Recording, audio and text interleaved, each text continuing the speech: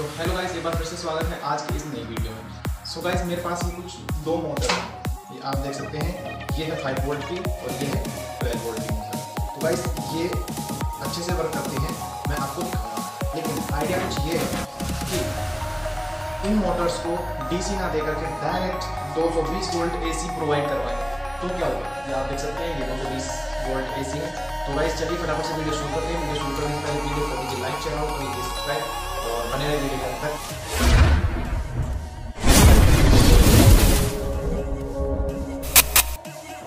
तो गाइस ये मोटर आप देख सकते हैं, ये बिल्कुल चालू कंडीशन में है, मैं आपको दिखाता हूँ।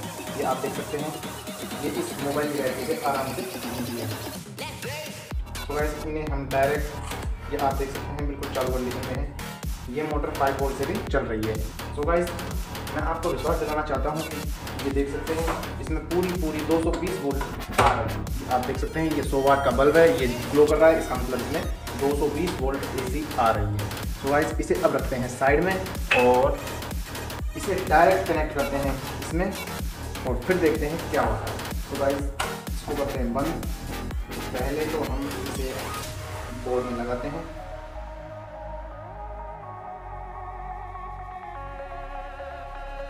तो गाइस ये हमने लगा दिया और अब मैं चालू कर रहा हूँ थ्री टू वन तो गाइस ये आप देख सकते हैं एम सी बी ट्रिप हो चुकी है। सो गाइस ये आप देख सकते हैं, ऐसा कुछ होता है जब हम एक डीसी मोटर को डायरेक्ट एसी प्रोवाइड करवाते हैं। सो so गाइस आप ऐसा कुछ भी कहीं पर भी ट्राई करने की कोशिश मत कीजिएगा। सो अब गाइस हम इसे तो चेक कर नहीं सकते हैं क्योंकि जो नीचे से एम ट्रिप हो चुकी है। तो आज के लिए बस इतना ही। हम मिलते हैं आपसे किसी नई वीडियो में, किसी नई टॉपिक के साथ। तब तक के लिए जय हिंद, जय भारत।